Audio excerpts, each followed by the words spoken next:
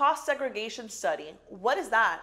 Hey taxpayers, this is Tiffany Gonzalez CPA here, and we're back with another installment of What is That, where we discuss key financial term and topics you may have heard, but we make them super easy to understand. Cost segregation is a detailed analysis that is conducted by an engineer and allows for an acceleration on depreciation. It is a strategic financial move that allows you to deduct so much more today, thus saving you tens of thousands of dollars in taxes. Picture this you own a commercial building that has walls and lighting and furniture and a fridge, and you want to accelerate the deduction.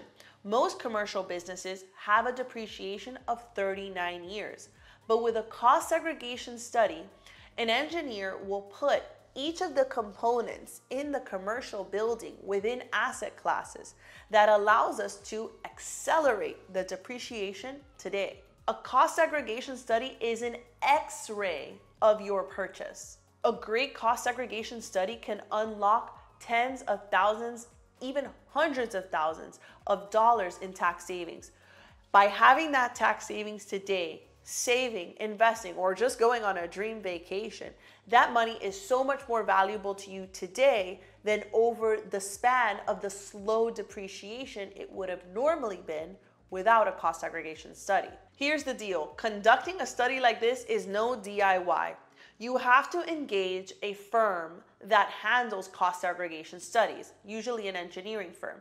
You have to have an accountant that understands what cost segregation studies are and how to use them. We at Accounting to Scale work with a great national firm that we're happy to recommend to you. These firms will produce the study, they'll do the x ray. You give these studies to your accountant, who will then apply that study within your tax filing and create that tax savings.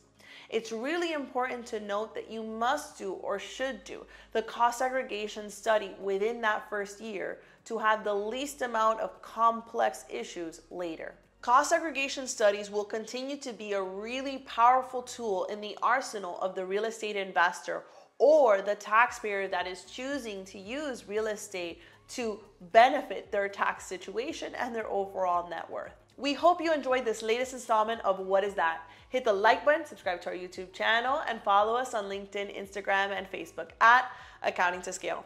Until the next video, your favorite CPA, Tiffany Gonzalez.